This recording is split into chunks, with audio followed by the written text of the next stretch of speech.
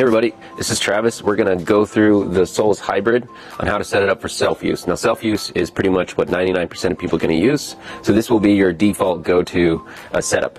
So when you go into the inverter, you want to first of all go down to advanced settings. So all of our um, menu structure is all the same. Info, settings, advanced info, and advanced settings.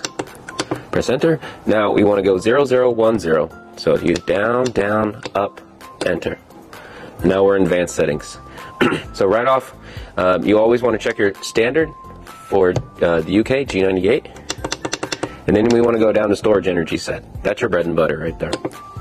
So um, you're going to go, first of all, I like to go to control panels and make sure the backup disabled.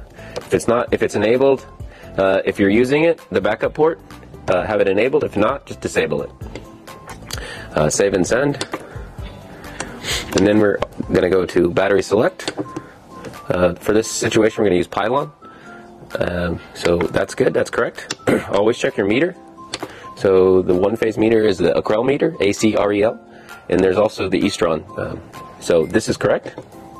Uh, meter placement is 99% on grid, so leave that as is. Storage mode select is uh, where we're going to go next. And uh, we're going to go up to self-use right? So self-use. Now we want to make sure it's on. The light colored is the selector, not the dark color. We have it on. Then this is the second stage of self-use. Do you want to charge from grid and or do you want to do time of use? Right now, we want to just do self-use. So we go in here, we make sure it says stop. That's correct.